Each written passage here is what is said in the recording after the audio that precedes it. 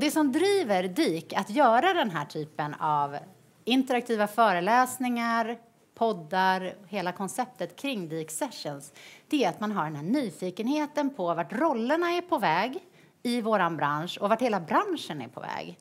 Dagens tema är förändring och vi kan väl alla vara överens om att det är en hel del förändringar just nu. Vi ska säga varmt välkommen till Andrej Svinik som är dagens talare. Välkommen upp med varma applåd. Tack så mycket. Du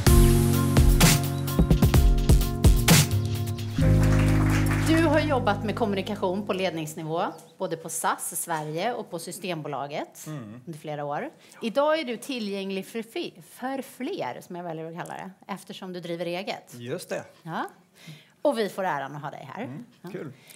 Ja. Jätteroligt. Och du har intresserat dig mycket för det här med drivkrafter och motivation och just hjärnan, hur hjärnan funkar i förändring och vad vi ska tänka på där. Varför är det så intressant? Ja, men vi behöver ju den kunskapen. Vi behöver den kunskapen för att tränga igenom i bruset. Och det är det som är eh, temat för morgonens seminarium. Mm. Hur kan vi kommunikatörer dra nytta av hjärnforskning och beteendestudier för att få mer precision i vår kommunikation? Mm. Och det jag tycker är extra roligt det är att nu får vi vetenskapligt stöd för sånt som vi kommunikatörer har lärt oss och känt på oss men inte riktigt kunnat liksom bevisa. Men nu finns det vetenskapliga bevis. Så kan det vara intressant för oss. Mm. Vad härligt. Ja, men med de orden så tycker jag att vi lämnar över till dig så du får köra igång. För nu kommer vi få med oss en hel del tips och verktyg och tricks. Jag hoppas det. Det är ja. min ambition. Ja, eh, som ni hörde så eh, har jag en erfarenhet som kommunikationschef. Jag har varit på Arlanda som informationschef. Jag har varit på IBM i Sverige. Sen har varit eh, i eh, SAS Sverige och Systembolaget. Jag har jobbat med kommunikation sedan 80-talet. Förstår det ganska länge för er som knappt var födda då. Men jag tycker att det här är den mest spännande tiden någonsin att jobba med kommunikation i. För att alla kan kommunicera och samtidigt så är det svårare än någonsin att faktiskt nå fram och nå in i människor. Håller ni med om det? Det är väl spännande att ha sådana utmaningar. Så att, eh, vi kommer att prata om hur ser, hur ser förutsättningarna för kommunikation ut och vad kan vi då göra med det. Några ingångsbilder bara för att sätta så att säga, scenen här. Det här är en bild från Hongkongs tunnelbana. Men ungefär så här dags, de som inte har haft förmånen att komma hit till Dick Sessions nu, de sitter på tunnelbanan väldigt många. Och så här ser det ut i Stockholms tunnelbana också, eller hur? Nästan alla har tagit upp sin mobil. Och man vet ju inte riktigt vad de gör i och för sig. En del spelar spel, andra uppdaterar sig. Någon kanske startar en revolution någonstans. Vad vet jag? Eh, den här tingesten den står ju väldigt mycket för det nya kommunikationslandskapets nya både möjligheter och utmaningar som vi kommer att komma tillbaka till. Jag skulle vilja skrämma er lite grann också. Vet ni vad det här är? Det här är ett yrke. Det är en man som han heter, det kallas för iskarar. Känner ni till iskararna? Eh, den här iskaren han är och levererar kyla hos fru Björk på Jungfrugatan 13. Vi kommer tillbaks till honom. Han hade ett jättesäkert yrke, men det bara försvann. Kan han vara relevant för oss? Ja, jag tror det. Eh, men mest ska vi fokusera på möjligheter. Lägerelden står för mig eh, som en metafor för den goda kommunikationen. När vi eh, lyssnar på varandra och når fram till varandra. Jag skulle vilja säga att i den här snabba världen som vi lever i så behöver vi balansera också med, med långsamma kanaler, med arenor för att lyssna och reflektera. Så att lägerelden får leda oss eh, till, till framgångsfaktorerna i eh, kommunikation i det här nya landskapet. Då kör vi igång. Ja, varför behövs vassare verktyg? Ja, eh, bruset. Vi kommer att prata en hel del nu om bruset. Eh, gamla kommunikationsstrategier håller inte riktigt längre, menar jag. Det, gäller, det räcker inte längre att ha mycket resurser och, och ha ett initiativ i kommunikationen. Utan vi behöver vara relevanta på ett mycket tydligare sätt. Och vi behöver förstå hur människor fungerar, var de finns någonstans och var vi hittar dem för att nå fram. det behövs nya verktyg för det. Och den här bilden, jag tycker den är lite läskig. Håller ni med om det? Liksom man sugs in i den här tunneln. Så här känner jag i alla fall ibland att det är. Det är så många intryck som, som vår hjärna möts utav. Så många som försöker påverka oss, som försöker nå fram till oss. Och vi som är här, vi är ju själva påverkare. Vi vill i det här bruset, den här jättetunneln, så vill vi komma igenom med våra, med våra kommunikationer och våra budskap. Det är klart att det där är, är väldigt tufft. Det är miljontals sinnesintryck varje sekund som, som vår hjärna möter. Jag såg att redan 2010 så sa Googles dåvarande vd att, eh, ska se så att jag citerar honom rätt, att på två dagar genererar vi lika mycket data och information som mänskligheten sammantaget hade genererat från tidernas begynnelse fram till 2003. Så att på två dagar så skapar vi lika mycket ny information som mänskligheten hade skapat fram till 2003. Ta in det. Och det här var 2010. Hur, hur skulle den här siffran se ut idag? Ehm, jag vet inte om ni har sett några färskare uppgifter. Men som, som skrämsel räcker ju det här, eller hur? Som motiv till att vi måste, vi måste hitta strategier som kanske är lite mer precisa, mer anpassade för den här nya verkligheten. Och för att vår hjärna, för att vi som människor ska kunna hantera alla dessa miljontals intryck så filtrerar vår hjärna och det ska vi vara väldigt glada för. Eh, att inte vi behöver aktivt ta ställning till alla intrycken utan väldigt mycket hanteras med automatik utan den omedvetna hjärnan. Så att fil filtren är en viktig pusselbit i att förstå det här och komma vidare. Och vi går tillbaks till tunnelbanan till eh, de här som råkar vara i Hongkong. Men eh, det ser ju precis likadant ut här i Stockholms tunnelbana, eller hur? Har ni, har ni någonsin varit med om en teknik, en teknisk pryl som så snabbt har brutit igenom och påverkat vårt beteende? Alltså, för tio år sedan när vi rörde oss eh, på stan så eh, tittade vi rakt fram. Vi såg varandra på ett annat sätt. Eh, visst, vi ringde en hel del. Men, men det här extrema, vad tror ni att det beror på? Vad är det som gör att mobilen och de funktioner som den har så snabbt har fångat oss och tar så mycket av vår medvetna tid? Har ni några idéer om det? Det triggar belöningssystemet, ja det tror jag också. För vad är det? Det är spel där det plingar till när man eh, lyckas. Och det är uppdateringar på Facebook och så. Jag känner ju själv att när jag har en ledig stund så är det väldigt, väldigt frestande att, att kolla. Jag har jag fått några fler likes på det jag upp, la upp eh, alldeles nyligen. Gör ni likadant? Eller kan ni låta bli? Jag tror att det här handlar väldigt mycket om det du säger. Att eh, vi får en, en, en, belöning, en liten mikrobelöning varje gång som vi kopplar upp oss och ser att nu är det någon mer som gillar det vi gjorde, någon mer gillar mig. Jag får en bekräftelse. Och massa sådana mikrobekräftelser gör att vi är nästan lite fast här. Undrar om inte vi har blivit beroende av mobiltelefonerna på ett sätt som vi inte kanske tänkt oss.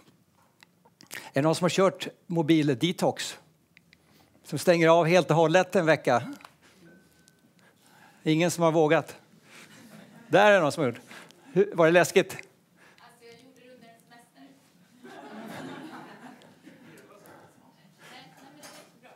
Jag gjorde det också under semestern när min mobil blev överkörd av en bil. I, I, två dygn hade jag inte mobilen och det var oerhört obehagligt. Det var verkligen en påminnelse om vilket beroende det är. Vi kanske ska prova nu över jul och nyår att stänga av några dagar och, och bara testa och, och, och vara med dem som, som vi firar jul med. Det här är en helt, helt ny förutsättning för kommunikation. Ehm, med enorma möjligheter. Vi kan utvidga våra vänskapsnätverk. Vi kan ha tillgång till all världens kunskap bara så här. Och, och samtidigt så ser vi också risker. Vi ser en polarisering i de sociala medierna. Att vi får mer mer och mer tillgång bara till sånt som vi redan från början gillar Vi får bekräftat sådana åsikter som, som vi har, som vi gillar att, att se att andra också har. Och I förlängningen så ser jag lite risker i det här. Att vi blir sämre på att faktiskt lyssna på människor som har andra perspektiv och som tycker annorlunda. Och därmed blir vi sämre tränade i att lösa konflikter. Om vi inte balanserar upp de här snabba, de här snabba möjligheterna.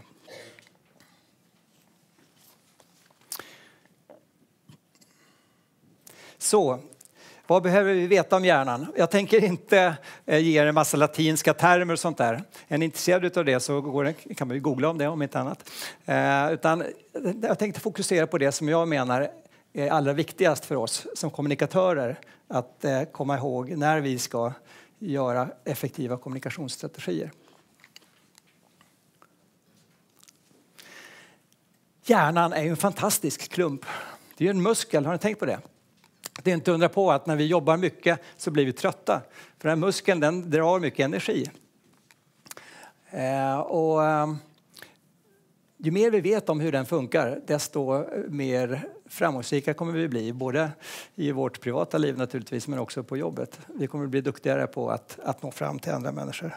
Och då är det två grundprogrammeringar som jag vill att ni, eh, att ni bär med er. Den första det är att allt vi gör handlar om att antingen minimera smärta eller att öka välbefinnande. Så att det, det, vi gör det rör sig mellan att minimera smärta och att öka välbefinnande. Vi försöker undvika hot, sånt som stör vår vana och vi försöker att öka eh, det som vi gillar och som vi mår bra utav. Så att det, det är den första grundprogrammeringen som också styr hur vi funkar som mottagare och medtagare eh, i kommunikation. Den andra grundprincipen det är att hjärnan, i och med att den drar mycket energi, så vill den hushålla med energin. Så att eh, det är ju energieffektivt att göra sånt som man har gjort förut. Tänka tankar som man har tänkt förut. Att vara i de vanespår som vi är i, det drar mindre energi och därför kommer hjärnan att föredra det. Vi kommer tillbaka till det där med vanans makt. Och här kommer ju filtren in.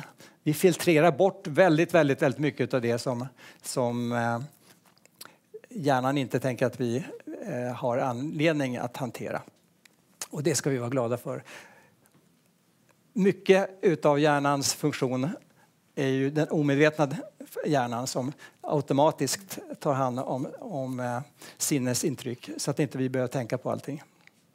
Ni kan tänka er själva vad hemskt det skulle vara om vi skulle behöva reflektera medvetet över varenda grej vi gör.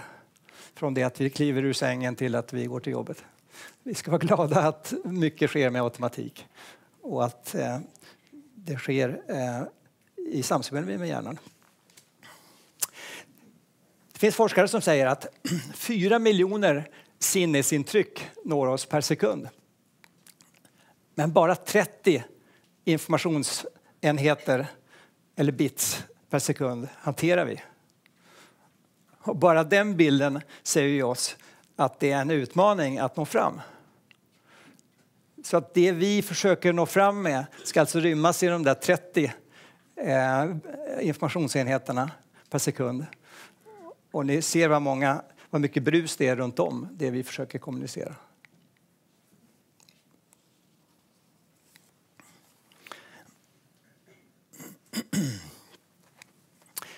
Och då är det ju så här att eh, vår hjärna grovsorterar.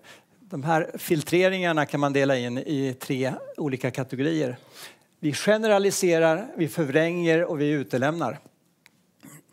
Och vill man ha aktuella exempel på hur det här kan förstärkas i en kommunikation det här med generalisering, förvrängning och utelämning. Då kan man ju med fördel titta på presidentvalskampanjen som är nyligen avslutad. Där i alla fall en av kandidaterna är mästare i att eh, förstärka de här filtreringarna. Jag ska ge några exempel på vad det kan handla om så att ni förstår det ännu bättre. Om, om, om någon säger så här, det är ingen som bryr sig om vad jag tycker. Det är ju en sorts generalisering. Och då får man ju ställa sig frågan, Är det verkligen så? Är det ingen som bryr sig om vad du tycker? Verkligen. Eller så, jag vet inte, ni kanske aldrig tänker så här, men man, jag har hört att det finns de som säger så här, mina kollegor de gnäller jämt. Inte era kollegor, det förstår jag. Men det kan ju vara så. Ehm, då kan man ju fråga sig, är inte det en generalisering? Är det så att alla kollegor verkligen gnäller alltid? Eh, antagligen inte. Det är väldigt lätt att vi, när vi uttrycker oss, också generaliserar. Förvrängningar, det är ju att eh, till exempel övertolka samband mellan det ena och det andra. Om, någon, någon, om jag tänkte så här, hon ringer inte mig längre, hon gillar inte mig. Så eh, är ju det frågan om det är helt riktigt. Så kan det ju vara. Men det kan också vara att hon har jättemycket att göra. Det är inte säkert att det finns ett logiskt samband mellan att hon inte ringer mig och att hon inte gillar mig. Utelämning, att utelämna, är också ett filter. Och en sån här drastisk, eh, drastiskt exempel på eh, utelämningen, det är ju påståendet han slår sin fru varje kväll. Hur låter det? Fruktansvärt. Men om vi lägger till i schack, då blir det en helt annan innebörd. Han slår sin fru varje kväll i schack. Så att det har ju faktiskt betydelse eh, att vi får hela, hela sammanhanget. Men om vi går tillbaka till oss själva handen på hjärtat, det kanske är så att vi också någon gång har utelämnat något faktum, faktum som inte gynnar vår sak. Vi argumenterar för någonting som vi brinner för. Vi ger inte hela bilden utan vi utelämnar någonting för att eh, det blir bättre för oss. Det här var exempel på hur vi medvetet använder filtren men omedvetet så eh, sker den här filtreringen hela, hela tiden i vår hjärna. Och det är viktigt att, att komma ihåg att vi själva funkar så och att våra målgrupper funkar så. Är ni med? Så, om vi går in då på kommunikation vid förändring. Då behöver vi börja med att prata om ordet förändring. Eh, vad säger ni om det ordet? Vad, vad tänker människor ofta när vi säger nu ska vi ha en förändring här? Det kan också vara så att vi har negativa associationer. Det kan vara så att vi har varit med om en förändring som vi inte tyckte blev så bra. Och idag när förändringar sker hela tiden så är det ju stor risk att vi har, har både positiva och eh, negativa erfarenheter av förändring. Jag är så gammal så att eh, när jag började jobba då gjorde man organisationsförändringar vart femte år. Och, och sen så sa man, ja skönt, då får vi arbetsro i fyra år. Är det någon som känner igen det? Det var ju länge sedan. Nu är det ju ständiga förbättringar, förändringar. Ehm, det sker förändringar hela tiden. Så, att, så att, ehm, det är klart att det innebär att det är en pågående stressfaktor för de flesta människor. Om vi strävar efter stabilitet, vi strävar efter att kunna förutse vad som kommer att hända, så är det naturligtvis ett hot att inte kunna göra det. Och som kommunikatörer så har vi en viktig uppgift i att försöka skapa så mycket förutsägbarhet som möjligt och sätta in i sammanhang så att man har chans att förstå varför sker den här förändringen.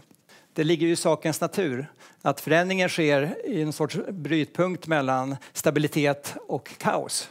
Och, och, där i det här tvärsnittet där så vet man inte riktigt när man hoppar upp till det andra läget från en stabilitet till en ny förhoppningsvis stabilitet så är det lite läskigt. Och chefen kan inte ge svar på alla detaljfrågor som vi har. Och vi kommunikatörer kan inte göra det heller.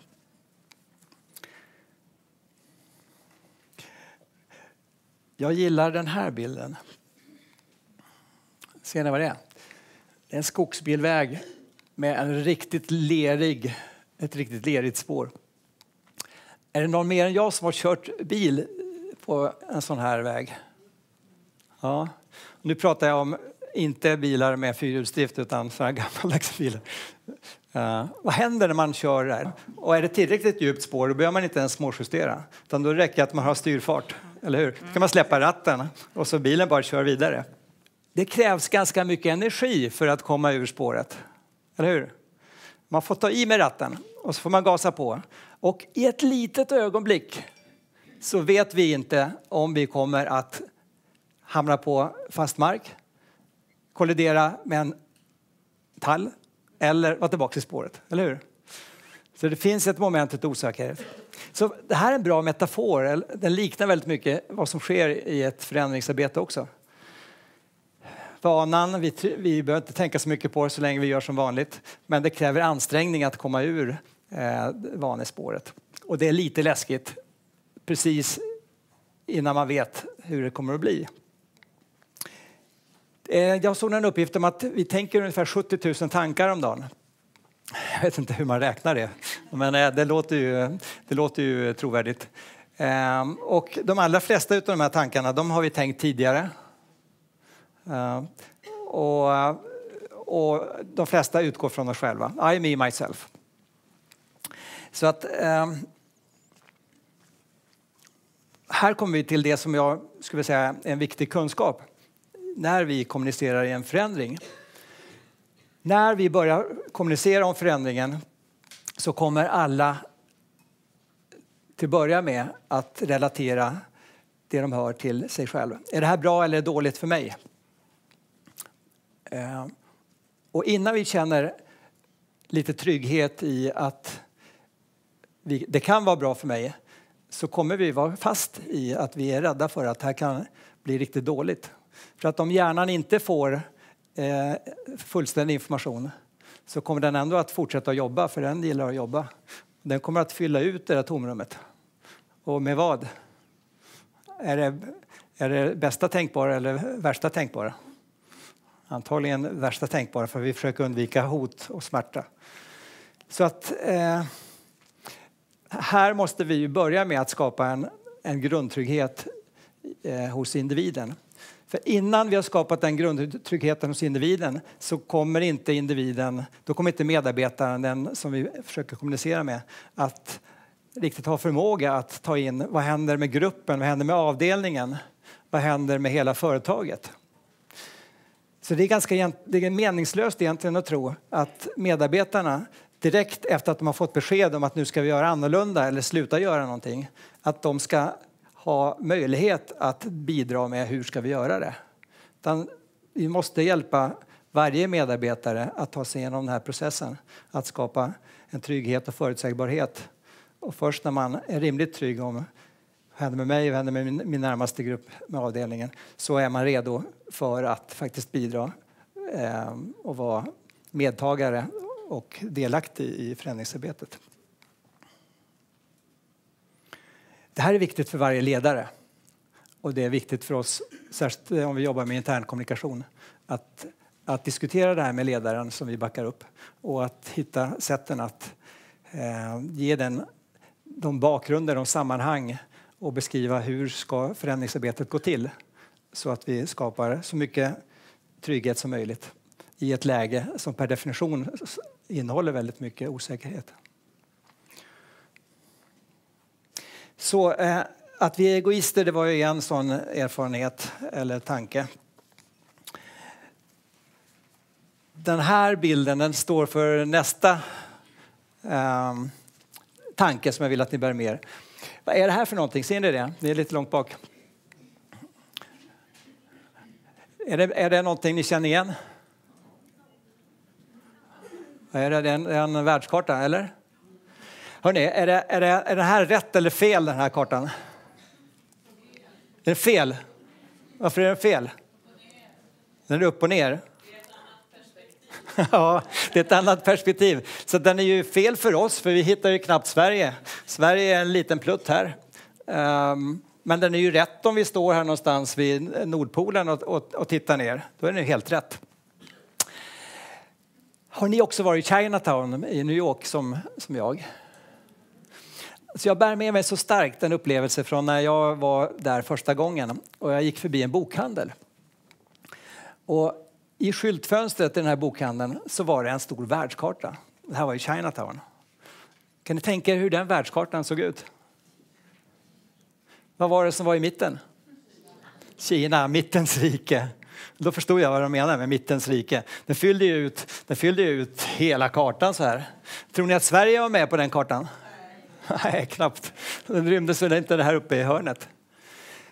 Jag bär med mig den här upplevelsen från Chinatown eh, för att komma ihåg att vi har ju olika kartbilder, vi människor.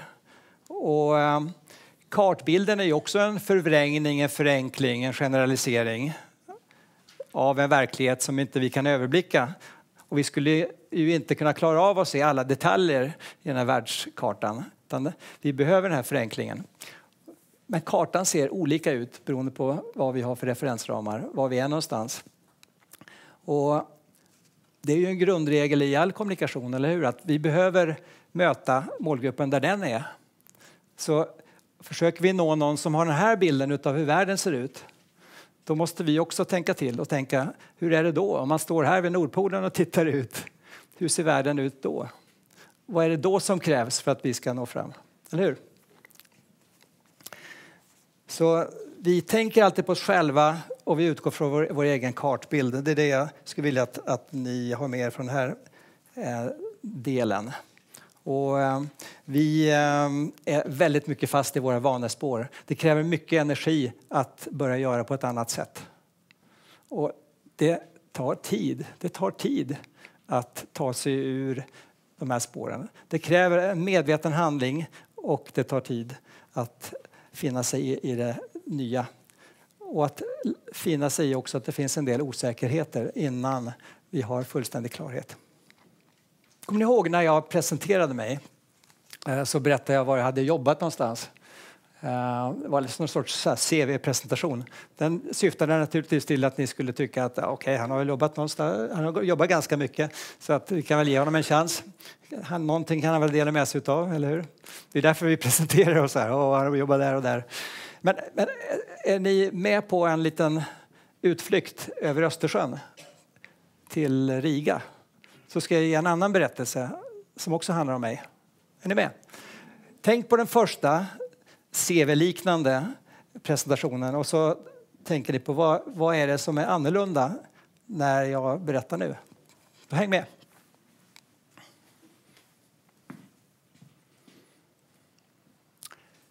Vi är i Riga. Det är 1980. Och eh, det är fortfarande Sovjetunionen. Min mamma och jag är i Riga och det är första gången hon är här eh, efter andra världskriget. Hon flydde från Lettland. Vi står precis nedanför ett jättehögt hus. Det är ett turisthotell på 27 våningar. Och det är en sån här riktigt het morgon i juli. Jag känner hur svetten rinner längs ryggraden. Folk är på väg till jobbet. Jag ser hur de går förbi på trottoaren och de, eh, alltså de är snyggt klädda. De ser inte glada ut, de ser väldigt buttra ut. På sidan så ah, ser jag en väldigt skraltig lastbil skramla förbi. Och efter den ligger en frän lukt av dåligt förbränd diesel. Jag hör på de ljud som omger mig. Människorna som är på väg till jobbet. De talar lettiska. Lettiska. För, för mig är lettiska det språket som vi pratade hemma vid köksbordet i Trehörningsjö, en liten by i Ångermanland där pappa var läkare. Vet ni, när jag var tonåring tyckte jag att det där språket är totalt värdelöst. Om man nu får ett gratisspråk kan man inte få franska som är svårt att lära sig eller, eller tyska eller något som man kan, kan man, som man kan använda? Den lettiska som ingen människa pratar. Och nu står jag där i en storstad och hör att här är en hel stad som pratar det här språket som jag nyss tyckte var värdelöst. Då känner jag att någon sorts rottrådar växer fram. Jag känner att jag hör hemma här också precis som jag hemma i Sverige. Så tittar jag upp på människorna som går förbi igen. Och eh, jag ser att det kommer en kille i min egen ålder. Och ett litet ögonblick bara så möts våra blickar och han passerar. Och där och då, då känner jag att den killen hade ju kunnat vara jag. Om mina föräldrar hade mötts i Lettland istället för i Sverige. Hur hade mitt liv sett ut då? Kan ni diskutera två och två? Vad är det som skiljer den berättelsen från den första? Varsågoda.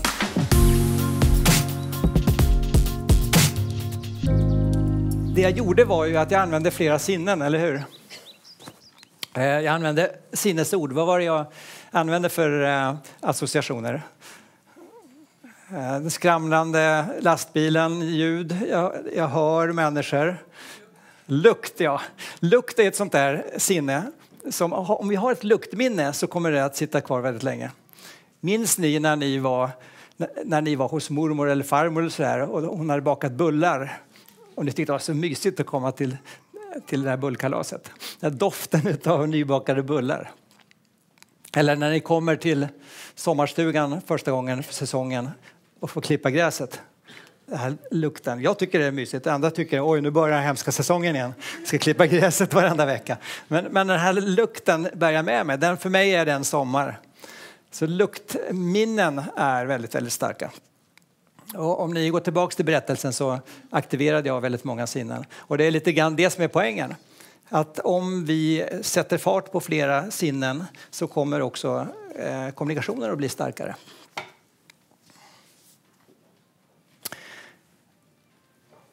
Ser ni vem det här är? Björn Ferry, ja. Han eh, har precis vunnit OS-guld i Vancouver 2010. Jag blev lite intresserad när han var med i det här tv-programmet Mästarnas mästare. Ni vet, då går de igenom sådana här fantastiska segrar som, som eh, deltagarna har gjort. Och Björn Ferry han sa ungefär så här, nu ska jag läsa. Jag var inte helt säker på om det här var på riktigt. Eller om det var ännu en av alla de gånger som jag tänkt och sett framför mig just den här situationen. Att jag glider över mållinjen och tar guld. Så vad hade Björn Ferry gjort? Han har gjort det som elitidrottare gör. De använder tekniken att måla upp en framtidsbild utav sitt mål där de aktiverar olika sinnen.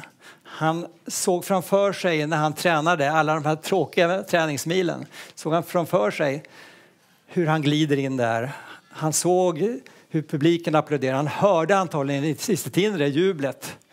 Han, han hörde när de spelade nationalsången. Han såg hur svenska flaggan eh, kommer upp och han känner den här stoltheten. Wow, jag står överst. Och den framtidsbilden, eller kalla det gärna för framtidsminnet. Han skapar ett framtidsminne.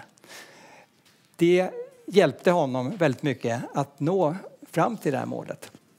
Så att, och här har vi ytterligare någonting som vi kan bära med oss. Att hjärnan har väldigt svårt att skilja på nutid och framtid.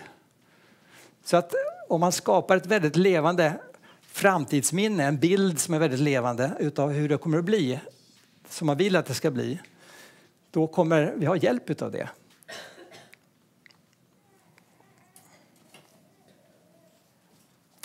Så ju fler sinnen vi tar hjälp av, desto mer levande blir målet. Och här kommer vi in till den här tacksamma kopplingen till forskningen. Här är en neurolog som heter Donald Kalln, han är kanadensare. Han förklarar det här som så elegant tycker jag det som vi behöver berätta många gånger om när vi lägger upp våra planer. Han säger så här, den viktiga skillnaden mellan förnuft och känsla det är att förnuft leder till slutsatser och känsla leder till handling. Elegant, eller hur? Så att om det räcker för oss att våra målgrupper ska kunna någonting, då kan det räcka väldigt långt med fakta. Förnuft leder till slutsatser, det är bra.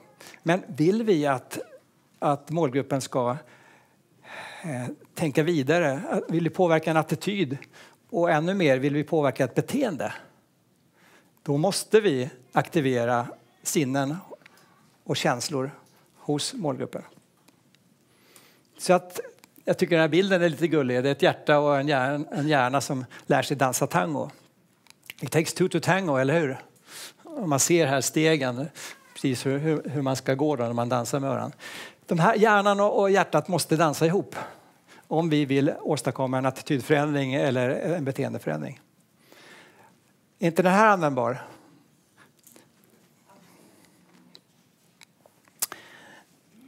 Och innan vi ska ta en liten eh, paus så vill jag koppla ihop det här med hur vi sätter våra mål. Är det någon här som är precis i, i färd med att spika verksamhetsplanen för året? Ja. Eller är ni färdiga redan? Är det styrelsen som ska, som ska bestämma nu? Tänk lite grann på de mål som, som ni har i verksamhetsplanen. För jag skulle vilja säga så här att eh, om vi tänker på elitidrottarna, vi tänker på Björn Ferry som hade gjort ett framtidsminne som var så levande så att, så att det fanns nästan som en magnetism i det. Eh, och så tänker ni på målen i er verksamhetsplan. Och då kan vi ställa oss frågan, eh, hur magnetiska är de målformuleringarna? Så här kan det ju se ut eh, i en verksamhetsplan, eller hur? 2017 ska vi öka omsättningen med 7% och öka vårt NKI med två enheter. Eller hur? Är det magnetiskt eller inte? Diskutera lite grann med varann. Eh, till början med. Tycker ni att, det, att graden av magnetism är hög så är det okej. Okay. Men tycker ni att man kan förbättra det här lite grann, addera lite mer sinnen, så testa. Hur skulle det kunna låta? Prata med varandra om det. Varsågod.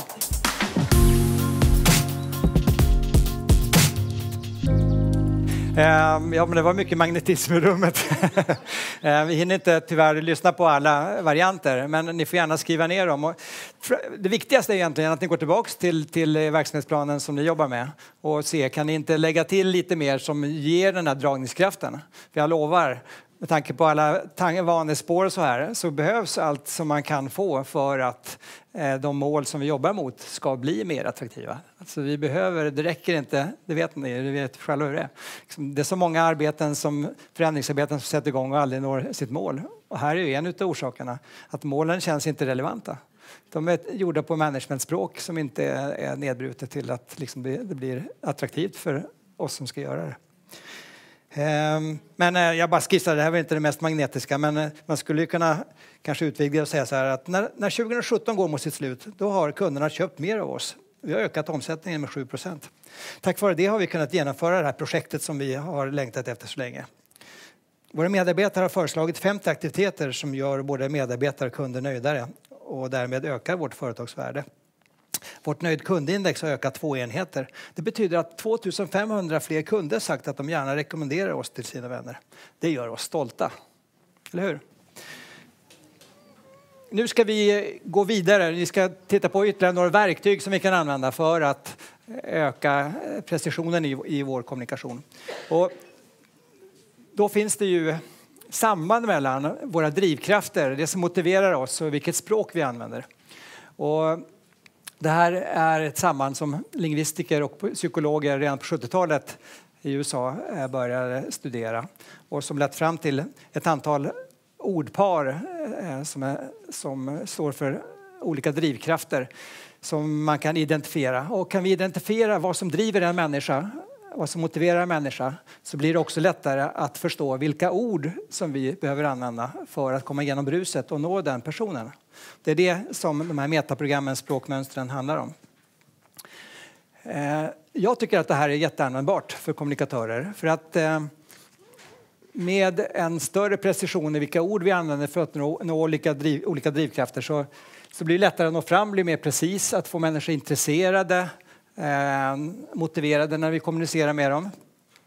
Och ehm, det här är någonting som vi kan använda i en enskild dialog eller när vi jobbar med en grupp. Då får vi tänka på att, att matcha flera olika drivkrafter för gruppen består antagligen av en blandning av drivkrafter. Men också i film och skrift.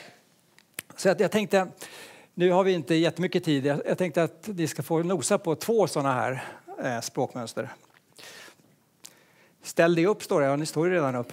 Eh, intervjua din granne nu. Eller ja, ta den som står närmast eller den ni är nyfiken på. Bara kort lite grann. Försök hitta så många likheter som möjligt mellan er två. Varsågoda.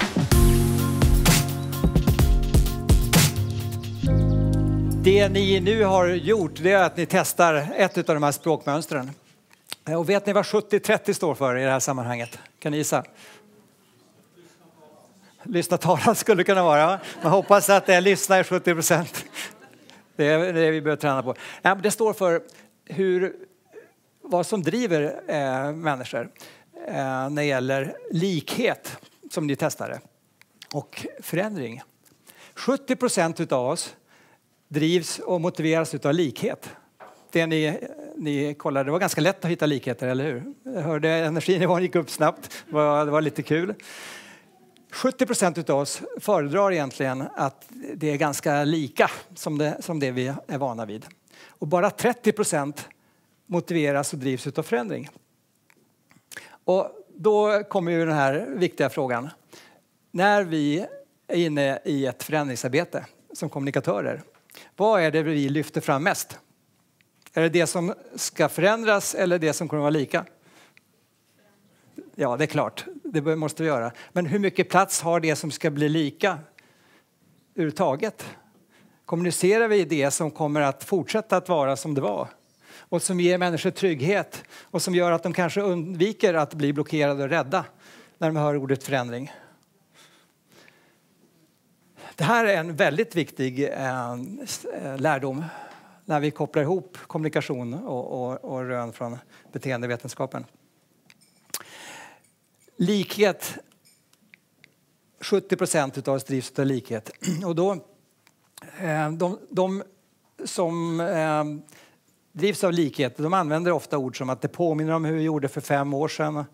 Eh, och när man lyssnar på hur de talar så matchar de ofta det som du säger. De använder ordet samma, liknande, gemensam, vanlig, fortsätta. Så att en likhetsdriven person från Skövde som kommer till Halmstad. De som är från Skövde eller Halmstad. Den skulle säga så här. Ja, men det är jättemycket som är likt här i Halmstad. Det är ungefär lika många människor som bor här. Det är ungefär lika många skolor och så här. Och då kan ni tänka er, den här som drivs av olikhet. Den kommer säga, nej men Halmstad, det ligger ju i havet. Det är helt annorlunda. Så, så vi, vi har fokus på olika saker. Um, om vi drivs av likhet eller olikhet. Och de som drivs av olikhet de, de, eh, säger, de betonar ju det som är annorlunda. De söker det som är annorlunda. Och hittar ofta motexempel. Det här är nytt, det här är förändringen, det här är olika, det är unikt. Så att därmed är det. Betona också det som kommer fortsätta att vara. För det skapar trygghet hos människor och då öppnar de upp för att lyssna på det som vi ska göra annorlunda. Men jag skulle säga så här lite radikalt lite wild and crazy. Kanske vi ska sluta använda ordet förändring. För att det är så, så mycket associerat med negativa associationer. Det är mycket bättre att använda synonymer som förbättring eller vi ska skruva på, vi ska utveckla. Om det inte är så att det är en radikal förändring. Det är klart, vi ska inte, vi ska inte, jag menar inte att vi ska dupera utan eh, hitta nyanserna som inte skapar ett, ett motstånd från första början. För det är ju väldigt onödigt. Så kanske vi ska undvika just det här ordet. Testa och se, kan man kalla det för någonting annat. En annan sån här, ett annat sånt språkmönster det är procedur och möjlighet. Om jag drivs av procedur då gillar jag ju att det är ordning och reda, att, att jag kan liksom förutse i vilken ordning saker kommer att ske ett, två, tre olika faser i ett projekt. Det gillar jag om jag är procedurmänniska. Eh, och om man lyssnar på en person som drivs av procedur då pratar den ofta, liksom, det är en berättelse. Eh, som startar någonstans och så fortsätter och så slutar. Pratar stegvis, pratar ofta om att det är nödvändigt, man ska göra på det här sättet. Så här sättet gör vi här. 40 procent ungefär, enligt undersökningar, som jag har tagit del av eh, drivs av procedur. Möjlighet är det andra eh, ordet. Och det är ungefär 40 där också som drivs av möjlighet. Och de eh, ser alternativ, de ser olika alternativ vägval. Det triggar dem. Så att de säger så här, jag gillar att ha alternativ men ogillar saker som begränsar mig. De pratar gärna om valmöjligheterna, om alternativ och variation. Ja, hur är vi kommunikatörer oftast? Är vi mest procedurmänniskor? Gillar vi att dokumentera, eh, beskriva exakt faser? Eller är vi mer så att vi gillar att se nya möjligheter? Ja, jag hörde det här, ska vi inte testa så? Ska vi inte prova att göra på det sättet? Du nickar. Jag är ju själv det. Eh, och när man jobbar med de här, eh, de här språkmönstren och metaprogrammen så kan man göra undersökningar för att se hur det ser ut i ett team. Eh, det är ju alltid bra om vi har en balans. Om vi är väldigt många som drivs av möjlighet, som kommunikatörer ofta gör, så ska vi uppskatta dem som gillar procedur. För det är de som kommer att säkra att våra lärdomar kommer dokumenteras så att någon annan kan, kan ta vid där vi slutar. Nu ska jag berätta om en metod som heter SCARF, det är en tankemodell som eh, inte är så jättekänd i Sverige ännu. Eh, det är en ledarskapskonsult eh, som heter David Rock i USA som har sammanställt rön från hjärnforskningen i USA. Och så har han formulerat slutsatser från den här hjärnforskningen i en tankemodell där SCARF står för, varje bokstav står för ett område som vi behöver ha koll på, till exempel i ett förändringsarbete. Och jag börjar med att, med att, att eh, visa ett lejon. Det ser ganska aggressivt ut. Och då är vi tillbaka till det här, de grundläggande programmeringarna. Att vi vill undvika hot, vi vill undvika att bli uppätna av lejonet eller är att det anfaller oss. Eh, och vi vill sträva efter så mycket välmående som möjligt. Och vi vet ju det, det vet, vet vi allihop att vad som händer när vi blir rädda. Reptilhjärnan slår till.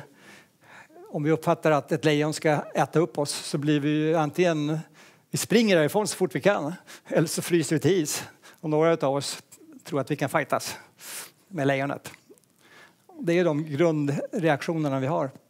Det där vet vi, men det hjärnforskningen har visat nu, och det här tycker jag är superintressant, när man tar röntgenbilder, magnetröntgenbilder i huvudet och tittar på hur funkar den friska hjärnan eh, i situationer som uppfattas som hot. Då ser man att det är samma samma områden i hjärnan som triggar igång som när vi, får, när vi utsätts för fysiska hot. Och det innebär ju att även på arbetsplatsen så är det här relevant. Så att när vi går in i en förändring, när vi kommunicerar en förändring så triggar vi igång försvarsmekanismer som är ungefär likadana som när vi bodde på savannen eller grottorna och lejonen anföll. Det här är ju superviktigt att, att ha koll på. Och det är det SCARF-modellen handlar om. Och man pratar idag mycket om den sociala hjärnan och, och eh, det finns nya rön kring just det här. Hur kan man tillämpa den här kunskapen i ledarskap och kommunikation? Eh, vi har symboliserat SCARF med en liten scarf där som man ska komma ihåg. Eh, jag ska gå igenom de olika delarna i SCARF-modellen. Status är den första om jag uppfattar att min status är hotad på jobbet, vi tänker oss att det här är på jobbet, då är det ju stor risk att, att, vi blir, att vi reagerar ungefär som när lejonet anfaller. Vi blir rädda, vi blir lite blockerade. Vi får inte tillgång till hela vårt smarta tänkande. Vi får lite utav tunnelseende när vi blir rädda. Och här ska jag också säga, finessen med, med SCARF-modellen är att man kan använda den både till att undvika att människor känner sig hotade och man kan använda den till att boosta en, den känsla man vill ha. Så att om vi tar status som, som det första exemplet. Status kan ju handla om att, ja, att jag får en jag blir nedgraderad eller jag blir uppgraderad. Om man jobbar i flyget som jag har gjort eh, en del eh, så handlar status mycket om hur mycket guld man har här på axlarna, eller hur? Eh, I offentliga sektorn, när jag började jobba, då hade, om, man var, om man var hög chef, då hade man hörnrum och så fick man ha ballografpenna. Antagligen behöver man inte väga gemen på våg utan man fick hur många man ville. Det finns en massa statusmarkörer som vi är vana vid, tänk inte på det. Högre lön är en statusmarkör. Så att, det här är ju klassiskt. Vi, vi boostar känsla av status genom att ge någonting mer. Alltså, eh, men en reduktion i status, känsla av status, det kan ju vara att om jag som informationschef, kommunikationschef känner att ja, men mina punkter kommer alltid sist på dagordningen i ledningsgruppen. Och hur ser det ut när man kommer till slutet av dagen? Ja, någon har pratat jättemycket så att jag har inte så mycket tid. Jag får komprimera den tiden jag har. Så att mina punkter får aldrig det utrymme som de egentligen förtjänar. Det är ju en, ett exempel på hur vår, vi kan känna att vår status är hotad. Någon som har varit med om det? Ja, tyvärr. Certainty, det är känslan av förutsägbarhet. Om jag inte kan förutse vad som ska hända då är tillbaka till den här osäkerheten som ju finns i en förändring. I ett, I ett ögonblick eller en lång period så finns det väldigt mycket osäkerheter. Ja, det är också ett sånt område där man kan se i hjärnan, då, då triggar de här flykt eller försvarsmekanismerna igång. Vi blir rädda och vi har inte tillgång till att tänka så smart som vi annars skulle kunna göra. Hur kan man öka känslan av förutsägbarhet i en förändring? Har ni tips om det? Tät kommunikation, jättebra. Tät kommunikation och att på givna tidpunkter. Att det skapar en sån sorts ledstång för människor att hålla sig i även om det är mörkt i rummet. Så brukar jag tänka.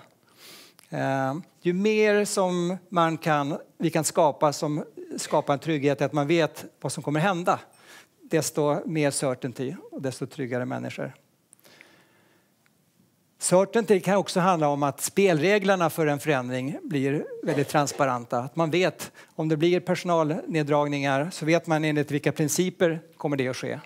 Det skapar också en förutsägbarhet som skapar trygghet. Autonomy det är ju känslan av att kunna bestämma, att ha självständighet. Så om, om, min chef skulle komma in till mig och säga så här, du Andris, Eh, jag vet du brukar rapportera det här en gång i månaden, eh, men, men det är väl okej okay, att eh, du kanske kommer till mig en gång i veckan nu och jag skulle gärna vilja att du gör ett Excel-ark också så jag ser liksom kurvorna. Så. Ska jag känna då, tror ni? Ja, klart jag skulle känna, vad är det, vad är det som händer här? Jag, är mitt mandat hotat? Är, är, det mina befogenheter som liksom, eh, håller på att krympa? Och så börjar jag tänka så här, värsta tänkbara, håller jag på att bli av med jobbet eller? Eller hur? Um, så att, att, att, öka känslan av självbestämmande, det handlar ju om att vara tydlig med uppdragen. Eh, det här är ditt uppdrag, det är det här som vi, jag kommer följa upp dig på, det här är viktigt. Så det går åt båda hållen. Relatedness, det handlar om vi och dem. Vi tillhör ju, vi går ut och in eh, mellan grupper, mellan vi och, och dem. Eh, ena dagen så är vi vi med de som är på vår avdelning, eller ena stunden. Nästa timme så är vi vi med alla i företaget. Eh, och nästa så, så är vi vi med någon annan. Och det finns lätt några som är dem så att ju mer vi känner att vi tillhör det gäng som vi vill tillhöra, desto tryggare är vi. Och ju mindre vi känner att vi får tillhöra det gänget som vi vill tillhöra, desto otryggare. Ni vet, det kan ju handla om väldigt, väldigt specifika grejer. Det kan vara att, att jag är van vid att alltid fika på torsdagar med Berit klockan tre. Och nu, nu säger de att vi ska förändra här. Och då kanske inte jag kan göra det. För jag vet inte om jag och Berit kommer jobba på samma ställe. Alltså en sån tanke, en sån känsla kan ju räcka för att en person tycker nej men det här är inte något kul, det här vill inte jag vara med på. Så det är inte alltid bara de stora perspektiven utan då är vi tillbaks till vi startar alltid med att tänka på oss själva. I, me, myself. Hur berör det mig? Så kommer alla era medarbetare och kollegor att, att, att eh, fundera när vi börjar prata om att något ska göra, göras annorlunda. Sista delen i SCARF är fairness. Och fairness det handlar ju om känsla av rättvisa. Om jag inte känner mig rättvist behandlad då kommer jag också att känna mig väldigt stressad. Ehm, det kan vara sådana här saker som, ni vet, vi är ju vuxna människor, det ser ut att vara vuxna de flesta av oss här, att, att vi försöker hålla en vuxen fasad. Men det behövs inte så jättemycket för att det här lilla barnet som minns oförrätter i barndomen ska ge sig till känna. Oh, min syster fick alltid större tårtbitar.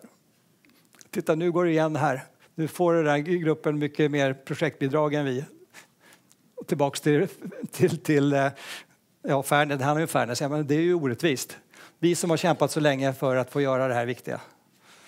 Jag ser på era leenden att ni känner igen er.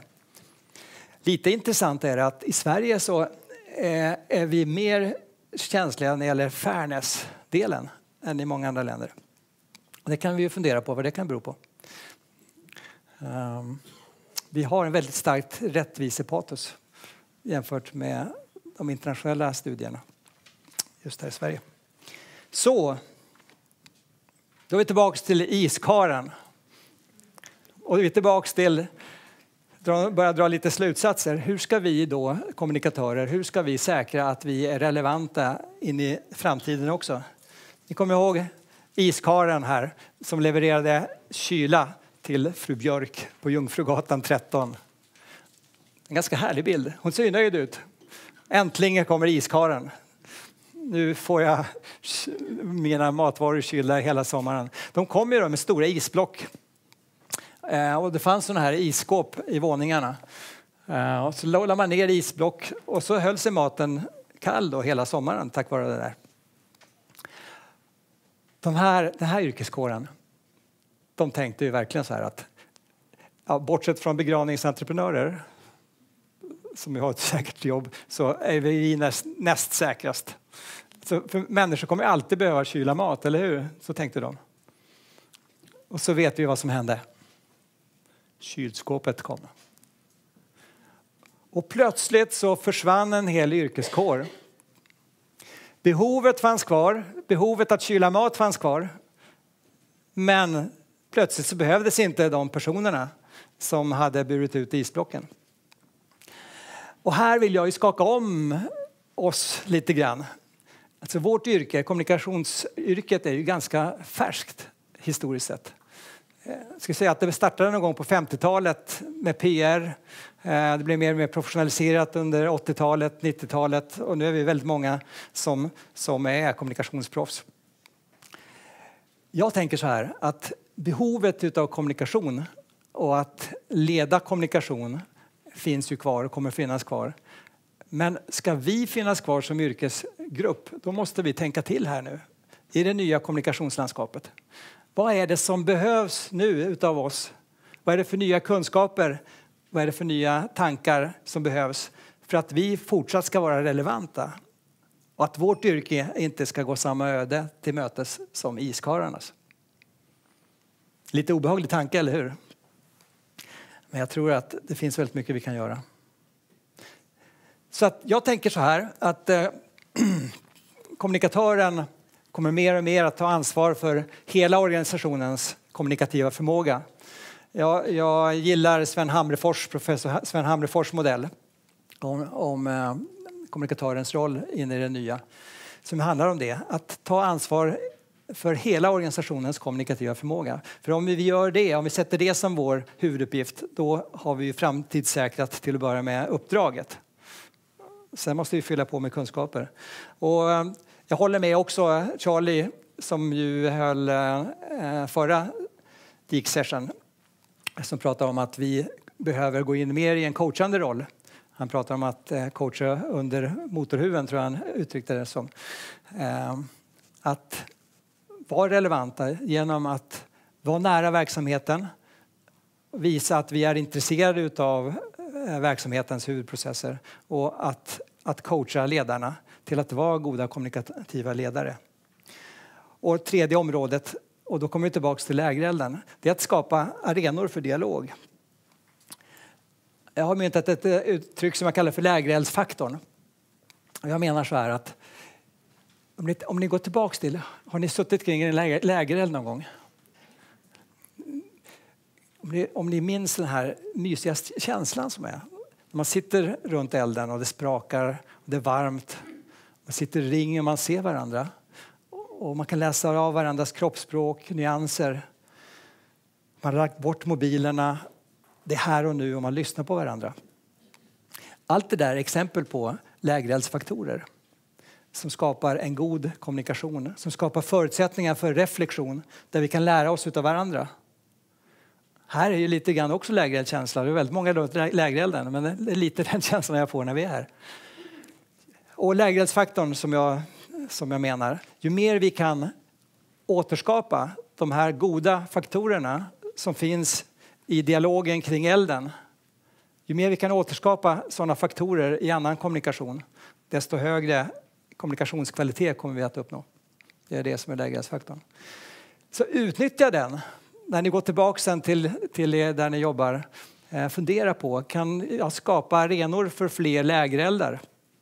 Det kanske inte är så populärt om du börjar tända fysiska lägereldar i korridorerna, men virtuella. Och någon gång kanske man ska tända också en fysisk lägereld, bara för att testa hur det är. Nu ska vi alldeles strax kanske avrunda, du och jag. Men innan ni går härifrån så skulle jag vilja att ni tar ett av era papper. Och ni kan ju börja förbereda det redan nu. Eh, jag ska lära er en, en feedbackmodell som ni kan tillämpa när som helst. För behöver, man behöver inte förtrycka någonting. Utan man tar ett papper bara och viker så här. Och så om ni gör som jag så får ni fyra fält.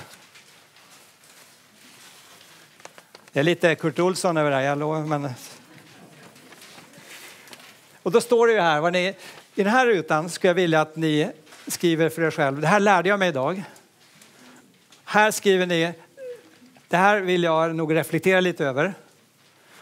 Här skriver ni, det här ska jag göra direkt när jag kommer till jobbet. Och sen den fjärde rutan, det skulle jag vilja att ni ger en återkoppling till, till mig och, och DIK om det här seminariet. Och här kommer det riktigt roliga för att den här rutan den river ni ur sen.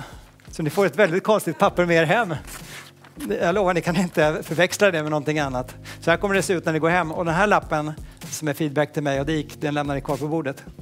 Är ni med på det? Tre tips för att du ska lyckas i förändringskommunikationen. Gör som elitidrottarna. Sätt magnetiska mål. Och tänk på att det behövs både fakta och känsla för att du ska få det att hända. Lär dig språkmönstren som är kopplade till drivkrafter så har du större chans att tränga igenom bruset. Och tänk på att 70 procent av människorna triggas utav likhet och bara 30 procent motiveras utav förändring. Och tredje rådet, upprepa många gånger varför vi behöver göra på ett nytt sätt så att människor får en chans att hänga på. Men då vill vi tacka er så jättemycket för superhärligt engagemang, massa klokskap Hoppas att ni har fått med en massa kunskaper, tips, råd, verktyg som ni kan eh, använda. Och som vi brukar säga, alltså, ut och testa. Det handlar ju om att göra. Och våga, våga. Våga misslyckas och våga lyckas. Det är också väldigt viktigt. Mm. Och vill ni fördjupa er i flera av de här ämnena som vi har pratat om under hösten, det är kreativa arbetsplatser, det är retorik och det är kommunikativt ledarskap, förändringskommunikation, så finns det nu sju poddar på dik.se sessions. Som jag sa tidigare, nu snart fyra filmade såna här sessions och artiklar och länkar. Så gå jättegärna in där och fördjupa er under julen och kanske i väntan på att vi presenterar agendan och temana för våren, för det är i full gång. Så det kommer nya teman, nytt innehåll under våren och då hoppas vi verkligen få se er här. Och måste jag avsluta med en stor applåd och ett jättetack till dig, Andreas. Tack ska ni ha. Tack.